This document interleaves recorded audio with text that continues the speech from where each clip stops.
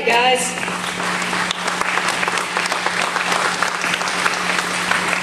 You all came here today. This is, I, I, thank you for clapping for the work I've done, but I prefer you clap for the work you've done and the work you're going to do.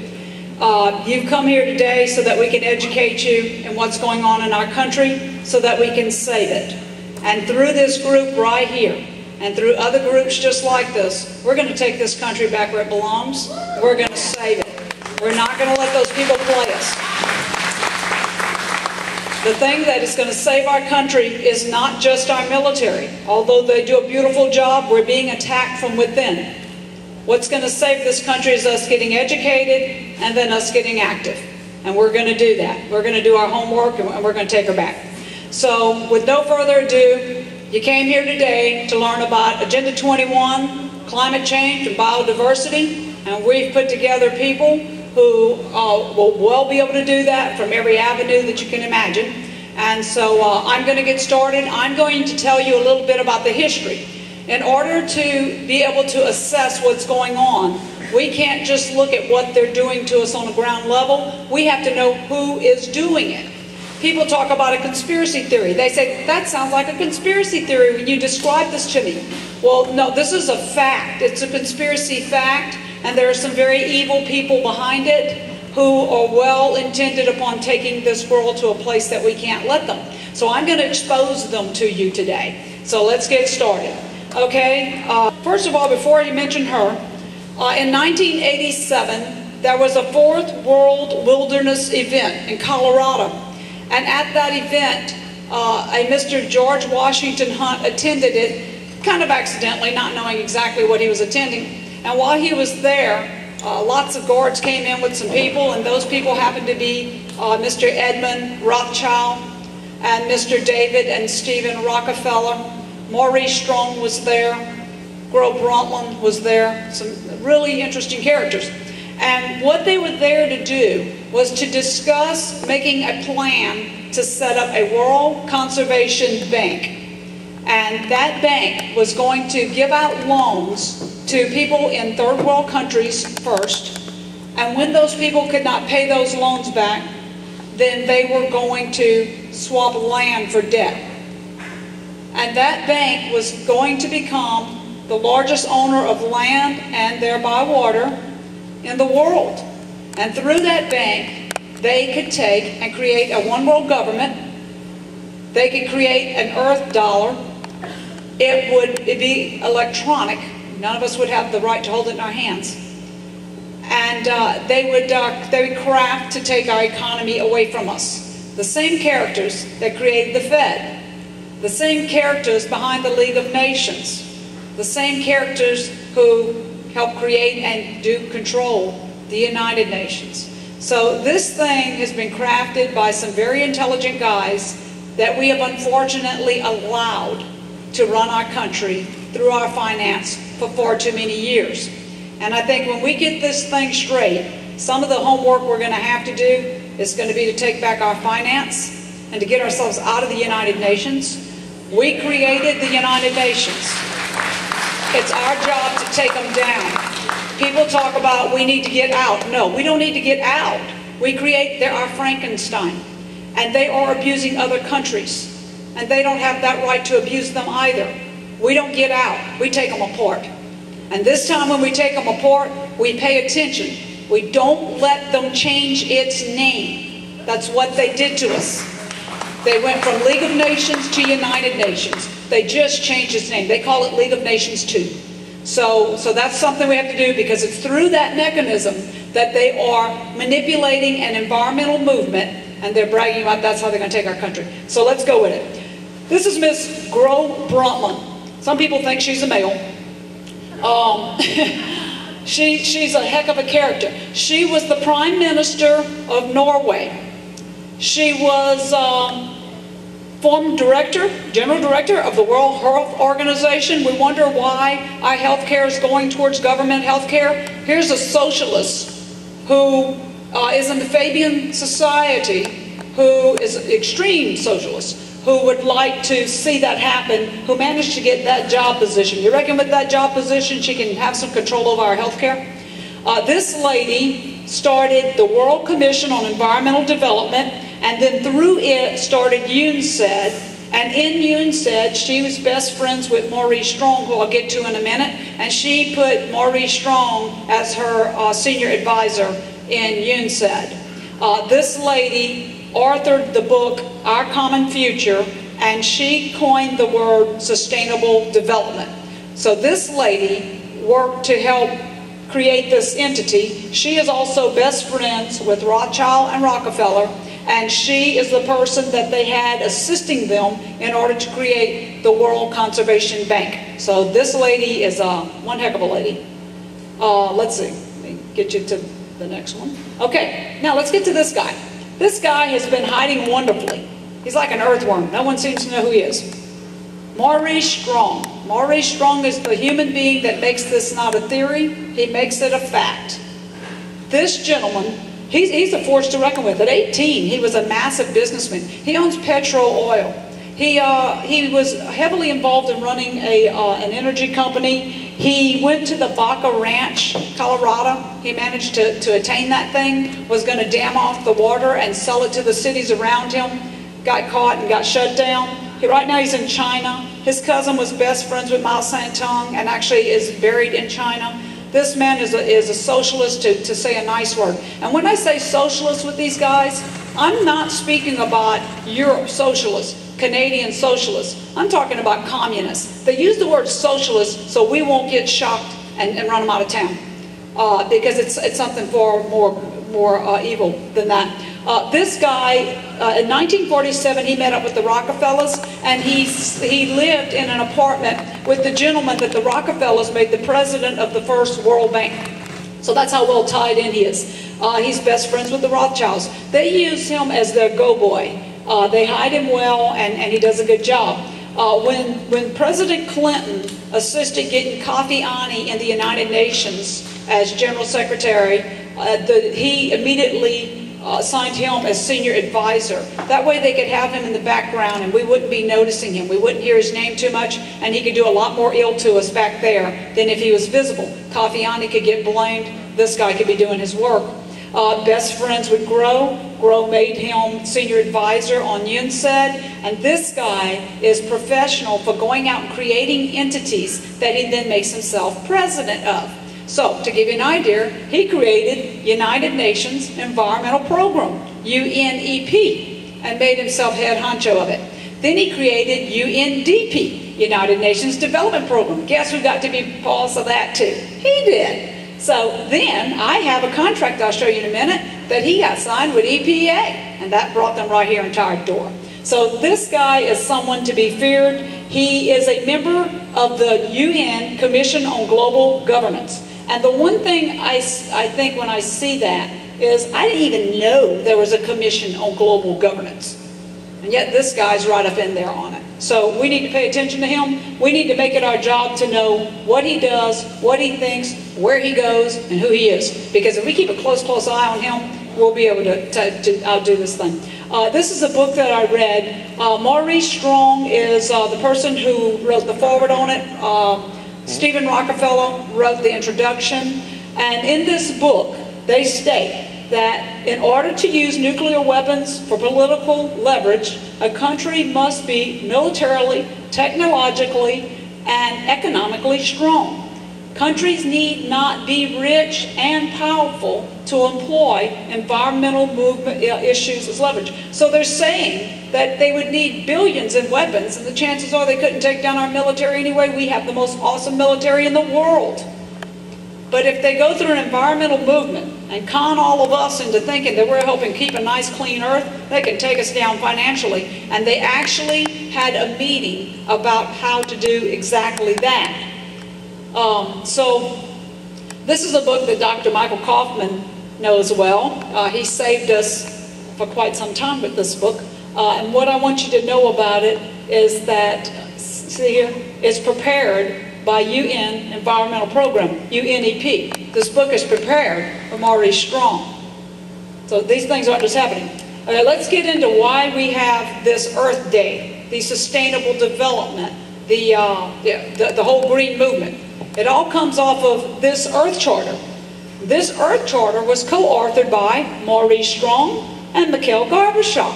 And Mikhail must have not had much time to write because it's based on the Soviet Union Charter.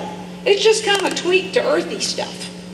So here we are with a communistic structured charter that we're going to use in order to assist them to take our rights and our country and our land away through an environmental movement. Let's see. These I won't cover. We have beautiful people covering them. I want you to know that this is more than just an environmental movement. It is a religious movement. The Gaia, the earth goddess. We believe that we rule over earth. In Genesis in the Bible, it states that man rules over earth. These people believe it's opposite.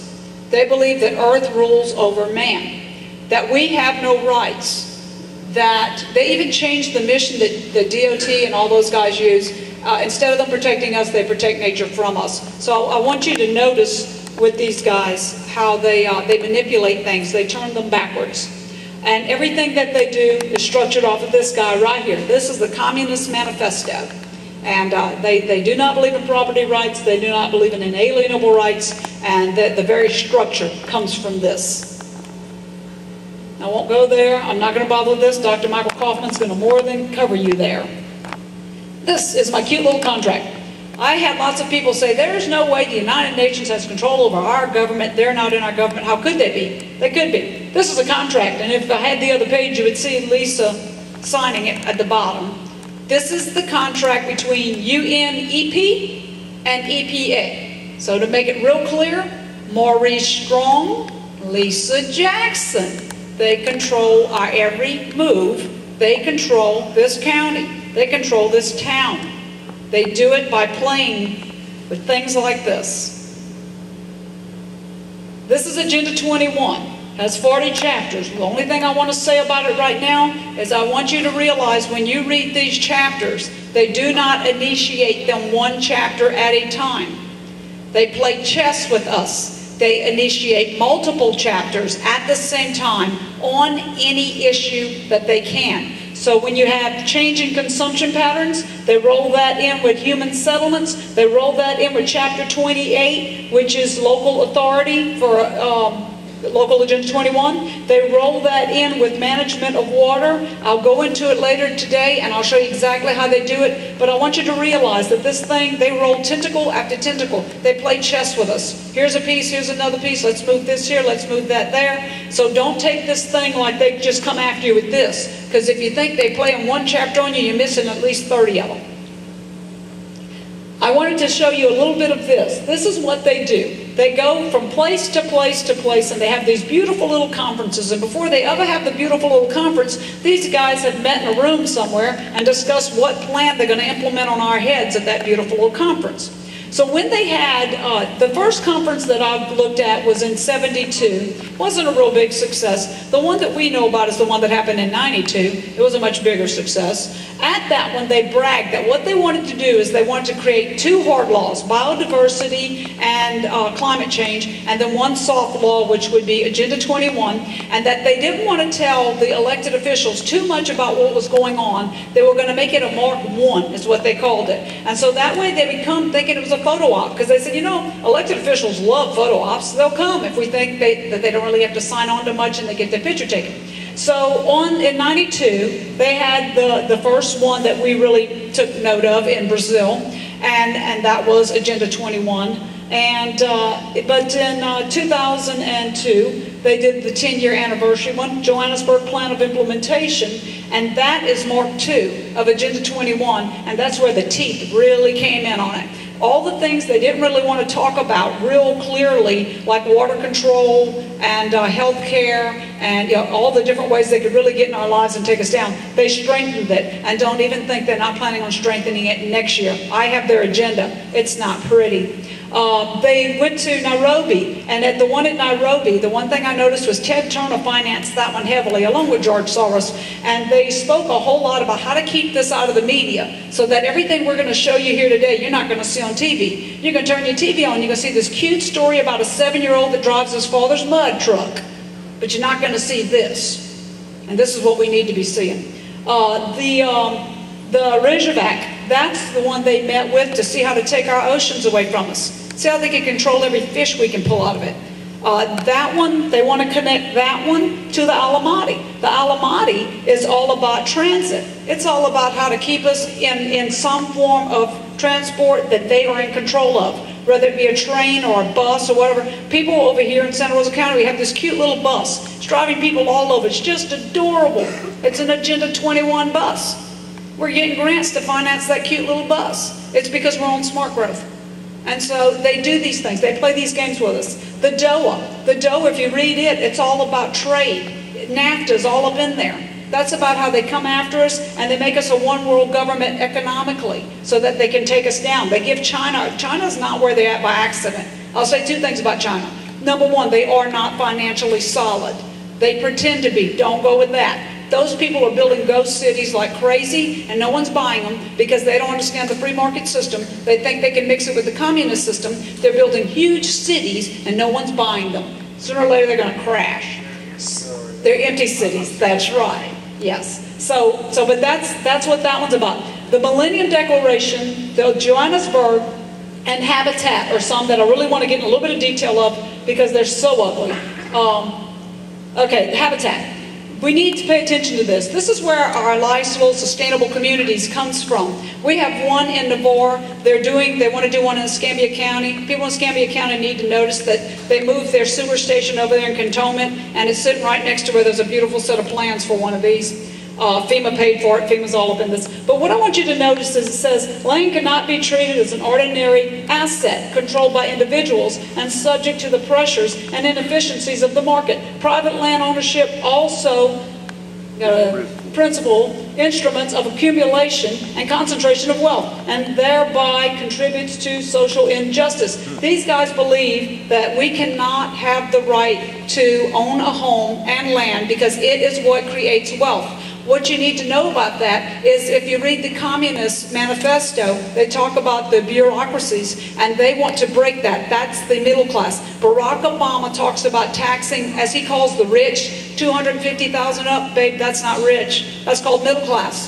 He wants to tear down the middle class. He's not talking about taxing GE. He's not talking about taxing Ford. He's talking about taxing the guys that he can tax very easily and destroy. And if he can take those guys down, he takes us down. We're hooked to him. Uh, but what I want you to notice about this also is that it says control land use through zoning and land use planning. And it also says, let's see where it's at. I want you to notice where it says, here you go, D5 owner rights should be separated from development rights, which should be held by a public authority. Notice that. Pay attention to your zoning in your county. They do this just everywhere. They put sustainable communities in our town so that they can hook our planning and zoning person to the project because the planning and zoning person has the power to rezone your whole county. And then they have power over where you live. So pay attention to those guys. They mean what they say. Let's get to the next one. Okay, Johannesburg Plan of Implementation, I pretty much covered that. What I want you to know about it is that it was the teeth of the Rio de Janeiro. It was the implementation of the further movement. And let me share one more thing. They said that they did not feel comfortable yet to bring out the three things that they really want. And those three things are supposed to be brought out in 2012. They are population control. They want a licensure. They want you to have to have a license in order to give birth. And they, right now, don't feel bad if you're working in a field that's involved because there's no such thing as not. I haven't found one yet. I work in the healthcare. I'm helping doctors and, and, and nurses and such get hooked up into the web-based reporting system. Well, when we get that web-based reporting system everywhere, then the government and the insurance company is going to know everything about you, and then they want to look at your genetic makeup and decide whether or not you have any kind of possibilities of having a baby that might have any kind of problems. And if you do, they want sterilization. And if you get pregnant, they want a state forced abortion. So these guys are, are cruel to say the least. The other things they talked about was technology transfer. And uh, you got to give Obama A plus. He is like transferring all our technology every day right now. And uh, the other thing was water control. These guys want total control of our water, and later today when I speak to you, I'm going to show you how they're doing it to us. And if we let those guys get our water, we have lost this war. I am speaking to general managers of water companies saying, please, wake up. This is how they're going to do it. They're going to take our water, and we'll be like Cuba. They'll give us a glass. They're going to control how much of it comes in our house, how much we pay for it, the whole thing. So we have to notice those things. But that's what this was about. This was about going one step further into uh, taking control of our lives. Now this one, I want you to notice it, the Millennium Declaration. Notice who financed that bad boy. Open Society, George, George Soros, our wonderful friend. This guy emphasizes the capacity approach. The capacity approach was written by a guy named Sen. He's a utilitarianism. And what he believes is that if you cannot produce and you eat, then that you are a useless eater. And so that you cannot continue to live. Because the earth cannot be sustainable to feed someone who does not produce. So if you are a senior citizen, you may not have a right to live. If you are handicapped, you may not have a right to live. These people don't have a conscience. They're evil from their head to their toes. What they truly want is less people. Because guess what less people can't do? Throw their butts out. So you got to get that population down because population is power. Don't ever doubt that. There's just a few thousand of these guys doing this. There's millions of us. If we don't take